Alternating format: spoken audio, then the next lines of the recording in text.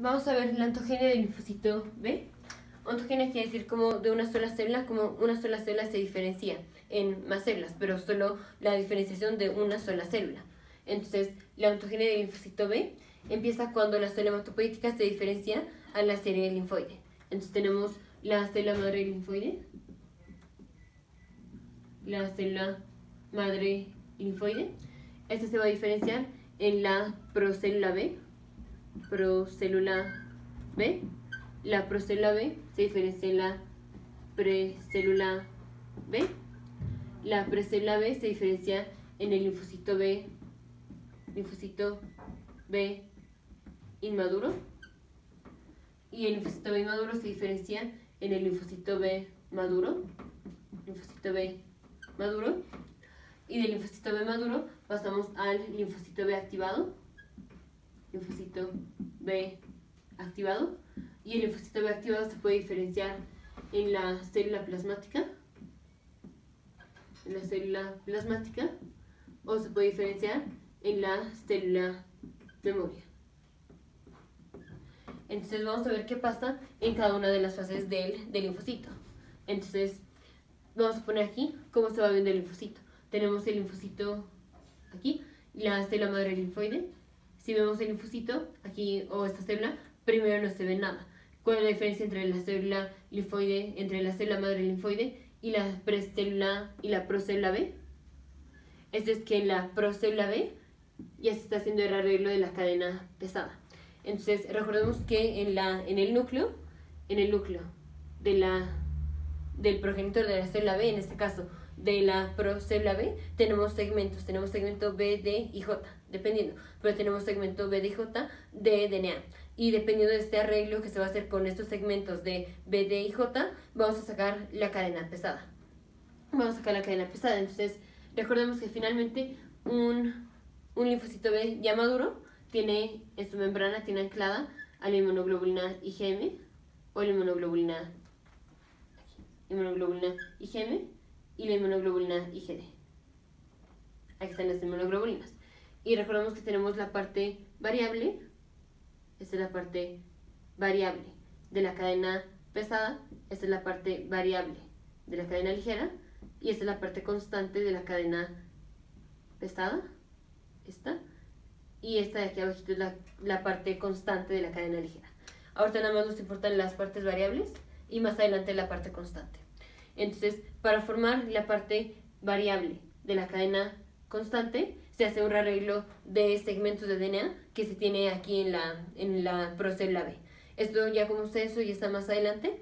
Aquí lo importante es cuando estamos en la fase de procélula B, ese arreglo se está haciendo. Entonces todavía las células no expresan, no expresan ninguna inmunoglobulina en su membrana. Nada más se está haciendo el arreglo de la cadena, de la cadena pesada, de la parte variable de la cadena pesada. Entonces vamos a poner rearreglo, rearreglo de la cadena pesada, de la cadena pesada.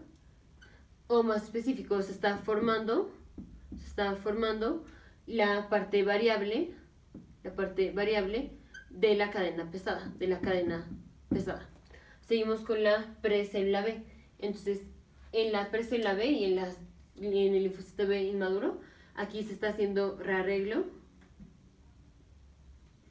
rearreglo de la cadena ligera. Entonces, esto mismo que pasó para la parte variable de la cadena pesada, es lo mismo que pasa, pero para la, o casi lo mismo, para la cadena ligera, para la cadena ligera. Esto pasa en la precélula B y en el linfocito B inmaduro. ¿Cuál es la diferencia entre la precélula B y el linfocito B inmaduro? Esto es que en la precélula B ya tenemos la parte constante de la cadena pesada. Entonces, esta que es la parte constante de la cadena pesada, para la IgM, si esta es la IgM, esta parte se llama mu. La parte constante de la cadena pesada se llama mu para la parte constante de la cadena pesada de la IgD, este se llama delta. Entonces, aquí en la precélula B se hace el arreglo de la cadena ligera la parte variable, o sea, se está formando se está formando la cadena ligera o la parte variable,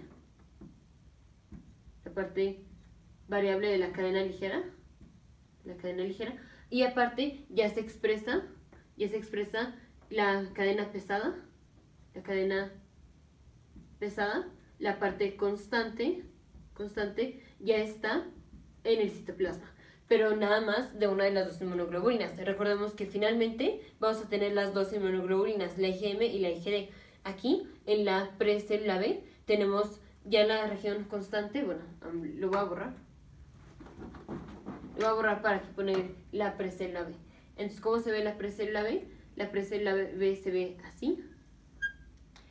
Todavía no vemos ninguna inmunoglobulina aquí en la superficie, pero en su citoplasma ya está la parte constante de la cadena pesada, que es mu.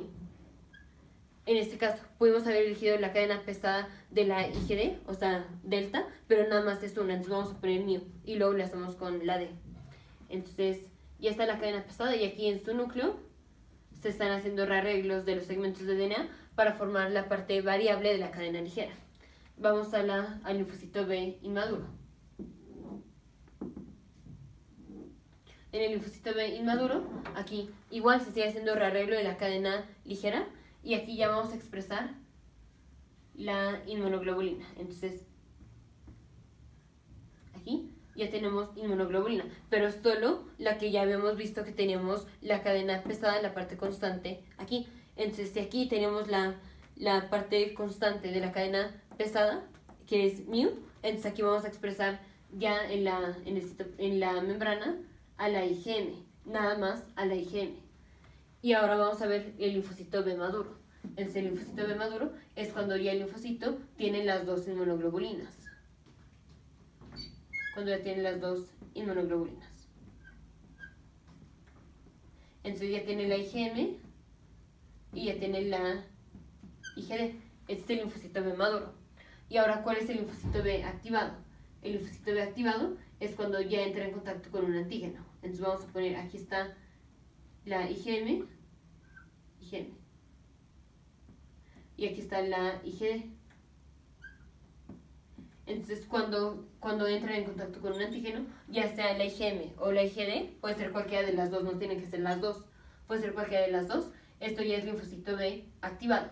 Y el linfocito B activado se va a diferenciar en la célula de memoria o la célula plasmática la célula plasmática ya no expresa, ya no tiene las, ya no tiene las inmunoglobulinas, ya no las tiene. Y su DNA, su cromatina está en forma de reloj, dicen que está en forma de reloj. ¿Y qué es lo que va a hacer la célula plasmática? La célula plasmática produce las inmunoglobulinas, pero estas inmunoglobulinas ya van a ser secretadas a la sangre. Esta inmunoglobulina ya está en la sangre.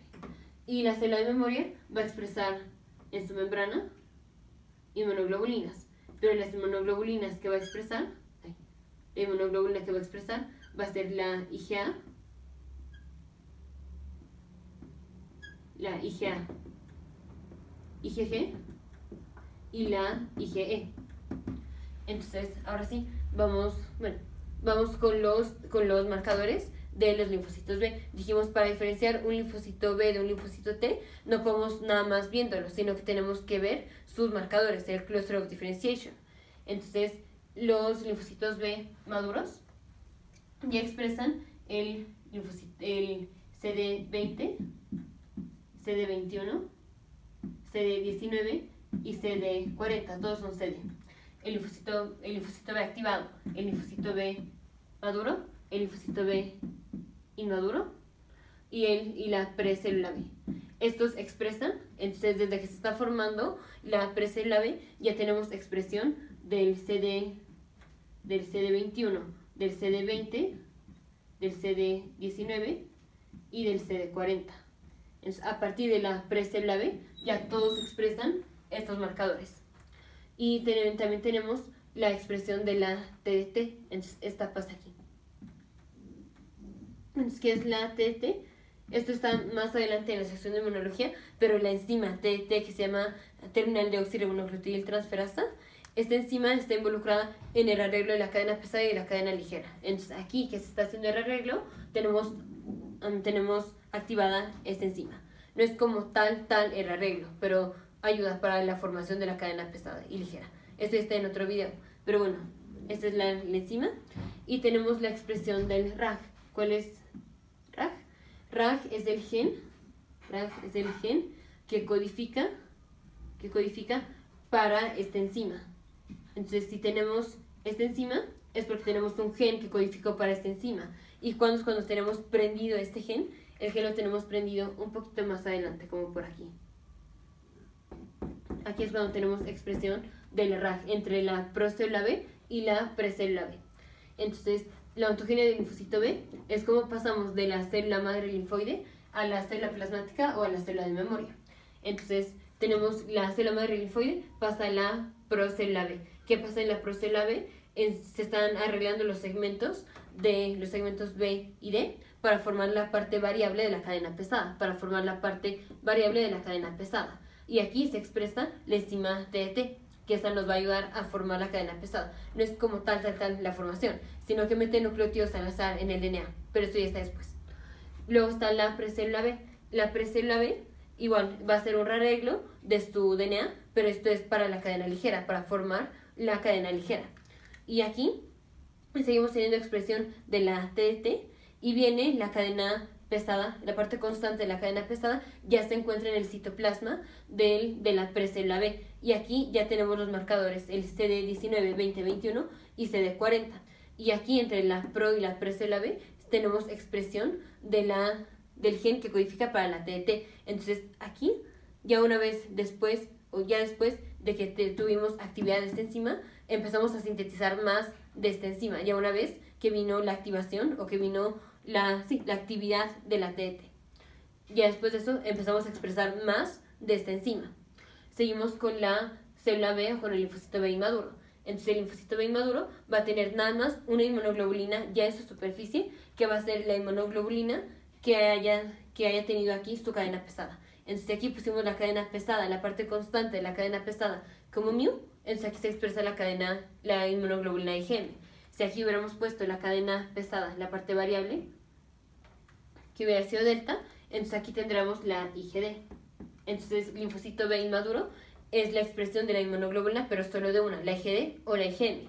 Ya el linfocito B maduro ya tiene la expresión de las dos inmunoglobulinas. Y a partir de aquí ya todos tienen los marcadores CD21, 20, 19 y 40. Seguimos con el linfocito B activado. Entonces el linfocito B activado es ya una vez que tenemos el linfocito B maduro, se va a unir con, con un antígeno. Y una vez que se une con un antígeno, a través de citoquinas que libera el linfocito T, esto activa al linfocito B. Entonces ya que tenemos activado al linfocito B, el linfocito B o se diferencia en una célula plasmática y la célula plasmática va a secretar inmunoglobulinas a la sangre, o sea, anticuerpos a la sangre, o tenemos la célula de memoria. Y la célula de memoria en su superficie ya no tiene IgM ni la IgD, sino que ahora tiene la IgA, la IgG y la IgE. Esa es la única célula que en su superficie tiene IgA, IgG y la IgE. Ahora, de aquí, de la, de la célula linfoide, de la célula madre linfoide, hasta el linfocito B inmaduro, todo esto ocurre en la médula ósea. En la médula ósea, o sea, en la parte de adentro del hueso, toda esta diferenciación. Y a partir del linfocito B maduro, entonces ya de aquí acá, todo esto ocurre en la periferia. En la periferia ocurre en la sangre. Entonces, periferia del linfocito B maduro, linfocito T activado, célula plasmática, célula memoria, esto sucede en la periferia, esto sucede en la sangre. En cambio, de célula madre linfoide a procélula B, a precélula B, al linfocito B inmaduro, esto sucede todo en la médula ósea, en la parte de adentro del hueso. Nos vemos en el siguiente video.